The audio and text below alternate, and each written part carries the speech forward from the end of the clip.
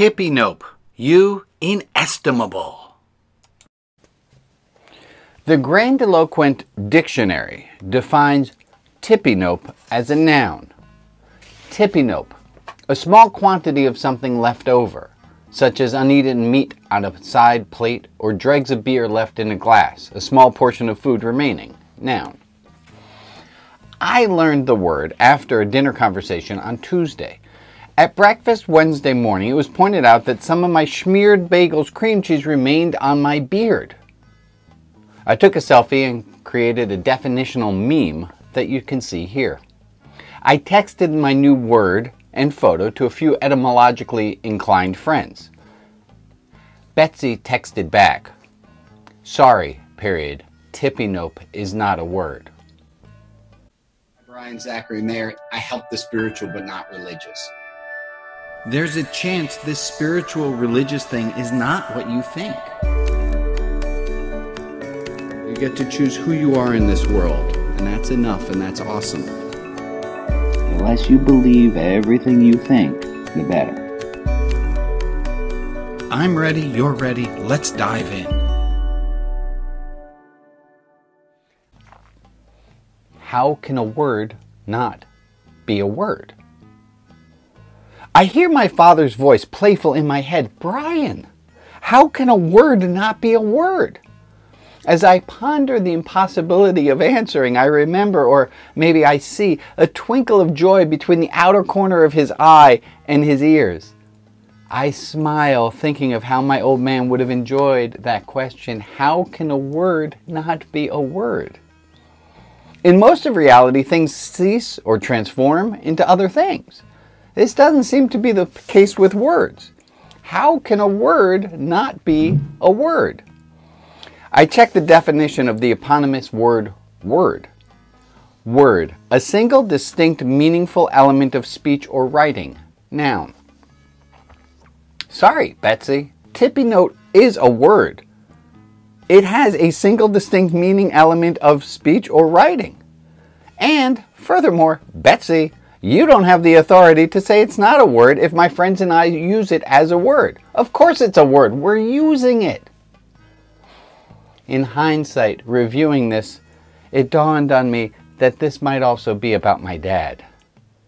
Maybe my dad, even though you might say he's not here, maybe he isn't quite gone either. After all, how can my dad cease to be my dad? Perfect Amalekian irony. This reminds me of something in the Bible. There's a passage in which it said that for all times, all descendants of Abraham, all Jews, all Christians, all Muslims, are to wipe the name Amalek from the face of the earth. Depending on what version of God's Holy Writ you're looking at, after a little discussion of being honest in weights and measures, the verse in Deuteronomy 25:19 translates as, Remember to eradicate Amalek. The irony is that there's not one extra biblical source in the world with any mention of Amalek. The name Amalek would not be known to this date except for the admonition to eradicate the name. To be fair, the redaction without mentioning the name would be absurd. Eradicate all traces of the name. Can you be more specific about who you mean when you say because the made it so I couldn't understand what you were saying? I said all eradicate the name. As soon as you say the name Amalek, it exists.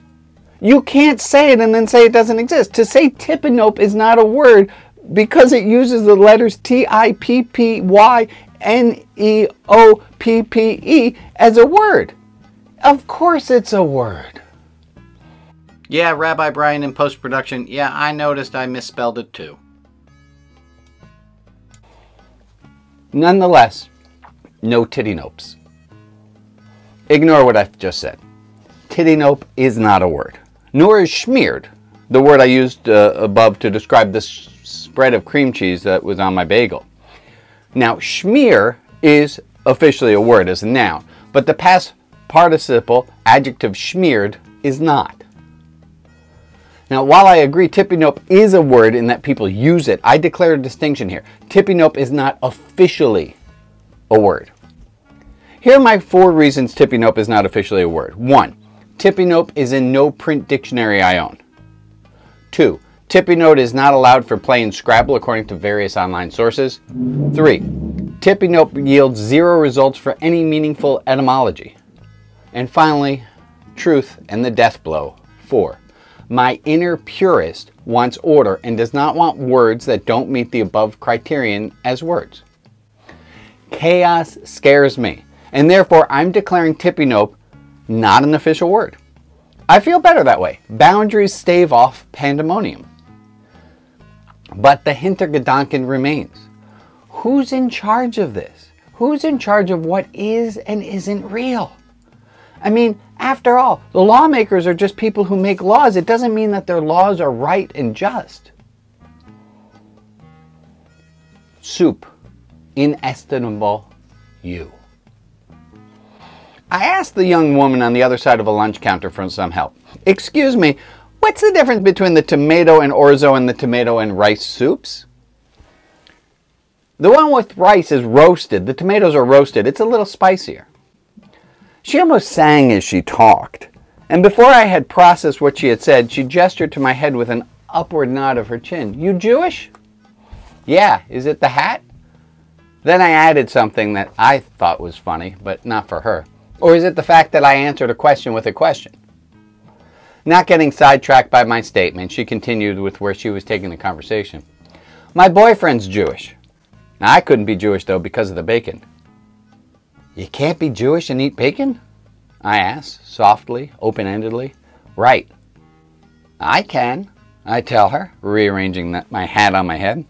Yeah, my boyfriend does too. He eats bacon and he's Jewish.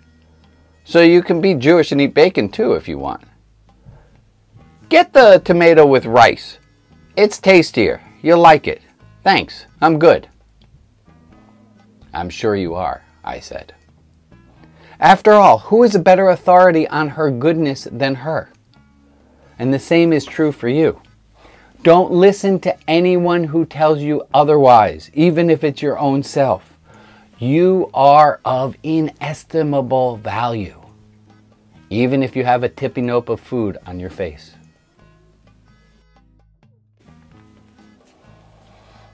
I'm Rabbi Brian. I thank you for watching.